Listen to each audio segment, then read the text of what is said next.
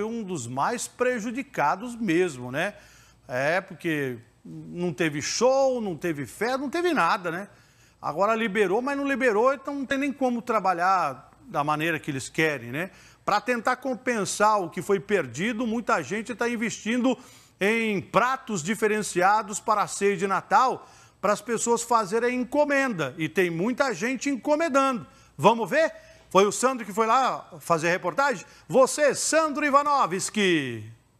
A Michele e o Rodrigo são empresários do setor de eventos. Trabalham com serviço de buffet.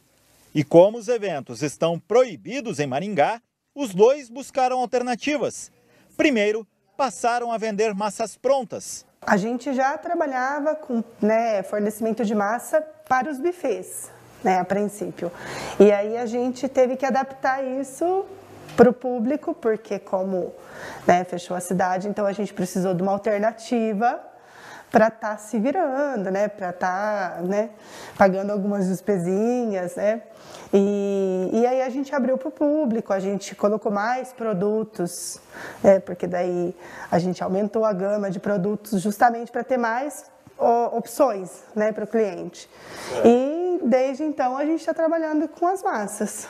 Agora, com a proximidade do Natal e do Réveillon, estão preparando kits para a ceia.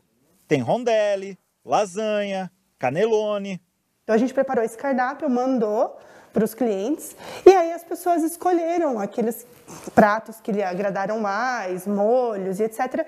E aí a gente monta esse kit e entrega para a pessoa no dia 24 ou no dia 31 daí, né? Já pronto para comer Já sem pronto, trabalho nenhum. Só colocar no forno para aquecer e para mesa. Inclusive a gente está mandando até com a travessa de louça, né? Para que a pessoa não tenha trabalho zero, né? Estou tentando fazer o possível para dar uma opção bem prática. Os kits para a ceia e as massas são alternativas que o Rodrigo e a Michele encontraram, mas que não chegam nem a 10% do faturamento que a empresa deles tinha com a realização de eventos. Capital de giro já não existe mais, né? O capital de giro a gente já teve que desfazer de todos, já estamos desfazendo de alguns bens, e a única alternativa é essa, que igual você falou, que é 10% do nosso faturamento.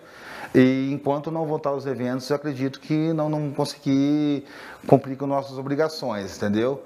E se não voltar até seis meses, eu acho que vamos ter que encerrar as atividades. No ano passado, nesta época, a empresa deles estava com 26 eventos programados. Tinha cinco funcionários trabalhando na cozinha e contratava pelo menos mais oito pessoas para ajudar em cada festa. Agora são só os dois. Demissões, perda de renda, prejuízos que eles acreditam que só serão recuperados quando os eventos voltarem a ser realizados em Maringá. A gente necessita voltar a trabalhar, porque senão eu acredito que 80% do setor vai encerrar as atividades por completo, porque não tem outro jeito, não tem como você manter 12 meses, 15, 18 meses uma situação dessa, tá insustentável, principalmente sem ter um apoio, né? Porque a gente não tem apoio, a gente está abandonado. A gente não é essencial, mas o essencial para o outro não é para mim. E para mim o meu trabalho é essencial, né?